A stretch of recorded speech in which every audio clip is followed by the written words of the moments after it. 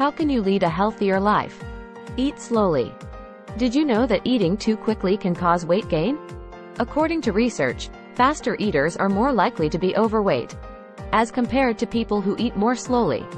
In one study, it was also suggested that this is 115% more likely to happen in middle-aged women. As you eat, your body releases fullness hormones that tell your brain you've eaten and should stop. However, as this process takes about 20 minutes, speedy eaters may consume too much food and only receive this signal later, which explains the post-buffet bloat you may feel after a satisfying meal. The next time you're having a meal, Make a conscious effort to eat slower and observe the effect on your appetite. Drink more water. You may have heard of the saying to drink 8 glasses of water a day. Yet not many may actually follow this, often choosing to count their total liquid intake instead, which usually includes sodas, coffee, and other beverages. Your body isn't made up of soft drinks and beers, however. Depending on age, about 60% of the human body is made up of water. There are numerous benefits of drinking more water. It helps us to control our calorie intake, energizes our muscles, keeps our kidneys healthy, and hydrates the skin. As you stay hydrated with water, you'll also find yourself having fewer cravings for sugary or less healthy beverages. Read nutrition labels. If weight loss is one of your health goals, make it a habit to read the nutritional labels on your foods during your grocery shopping. Look out for the total amount of calories a product contains. And not just for one serving, which is typically what's stated on the label. Reading nutrition labels will also help you to avoid only reading marketing labels like high in fiber, low fat, or zero sugar, as these labels may be misleading. While a product is high in calcium, it could also be high in sugar. A detail you may have missed if you hadn't read the nutrition label. Eat more fruits and vegetables. A health survey of more than 65,000 participants found that people who ate the most portions of fruits or vegetables, seven or more, each day had a 42% reduced risk of dying from any cause, compared to individuals who ate less than one portion a day. However, you may want to choose more fresh produce, as it was found that frozen and canned fruit can also increase the risk of dying by 17%. Need a tip on how you can add more fruits and vegetables into your diet? Buy some cut fruit after lunch and bring it to your workplace. The next time you're hungry, that fruit will be the closest and most convenient snack you'll reach for. Work out, at least, three times a week. According to Active Health, an initiative by the Singapore Sports Council, adults should engage in at least 150 minutes of moderate to vigorous physical activity each week. The reality, though, is that only 26% of Singaporeans do so. Hitting this goal doesn't have to be difficult. You can try. Do more of an activity you're already doing. Picking an activity you think you'll enjoy doing, and start doing it. These can be small changes. For example, instead of walking with your dog, put on your running shoes and jog with your dog.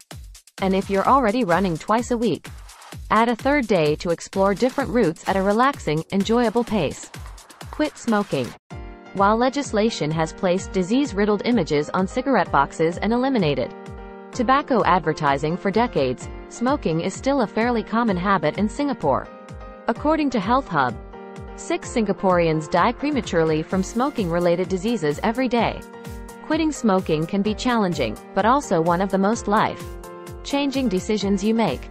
Some strategies to overcome the addiction include exercise, support groups, relaxation techniques like breathing, or even nicotine replacement therapy.